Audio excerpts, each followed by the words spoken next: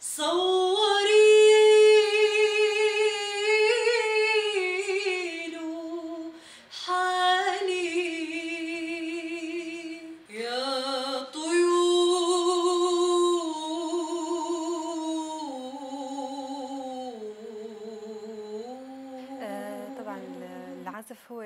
قلت لك تأثرت بشخص هو يقرب لماما طبعا آه، فحسيته كثير هالشيء رح يفيدني لإلي بما إنه أحب الغناء يعني فآلة موسيقية أكيد رح تفيدني وكان عندي هوس يعني بالموسيقى كلها على بعضها فشفته هالشيء كثير حلو رح يناسبني يعني. فمن أول ما شفته هو عم يعزف آه، أنا في البيت لحالي وأنا مثلا نايمة ماما مرات كانت تخاف علي حتى إنه كانت تحركون أصابعي لحالا. هلأ تقريبا صار لي 10 سنين أعزف أنا. يمكن من هالعشر سنين كلها ما تدربت غير ثلاث سنين ونص تقريبا بشكل آه، متساوي يعني مستمر. آه، المشكلة عندنا أنه ما في أكاديميات موسيقية مختصة فهالشي اللي كنا نواجه فيه صعوبة كبيرة. وخاصة يعني بلشته بعمر صغير ومع بداية الأزمة فكتير كان شيء صعب يعني. إن كان يعني بنص الظهر كان يودوني أهلي على المعاهد حتى أحاول أتدرب يعني. بس كمان مو كثير استفدتوا مو ننكر فضل الأشخاص اللي حاولوا يساعدوني بس كل ما أتطور يعني بدي إمكانيات أكبر أنا. فحاولت أشتغل لحالي أنا.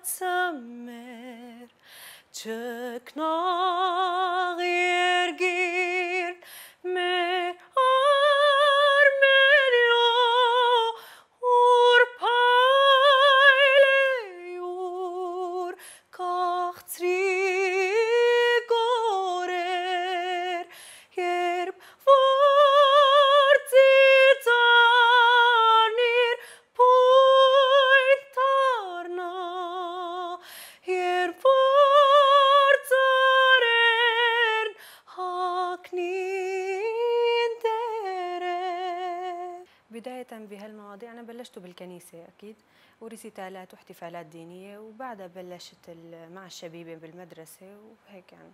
طبعا يعني دائما في شيء مميز يعني وأحب الاختلاف.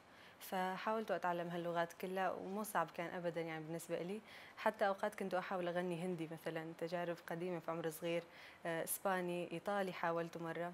إيه، فأحب تعدد اللغات ومثل ما قلت لك إنه بالكنيسة هي كانت الأساس بتعليم اللغة السريانية وماما كانت ساعدتني كثير بالأرمني. آه، بسبب نشاطي على ال social media طبعا آه، في أشخاص دعموني وأنا كثير اتشكرهم من كل قلبي آه، وب يعني بمساعدتهم أنا قدرت أطرح أغنيتين خاصين فيني. الأولى كانت آه، من ألحان وتوزيع فادي سيمون وكلمات الياس بكرجي وتسجيل استوديو دريمز. يعني شكرا كثير لأن هن اللي كانوا بداية المشوار لإلي. والأغنية الثانية كانت بمساعدة لجنة الرها اللي لهم فضل كثير كبير علي. يعني كانت أغنية رائعة والتعامل معهم كان أكثر من رائع. So now I think.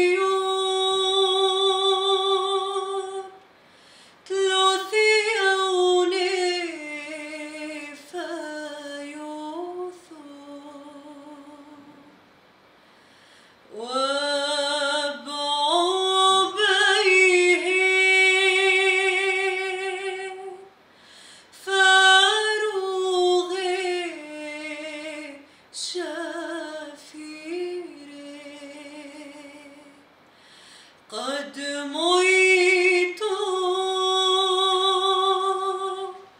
طعين لشمويه مصيت طعين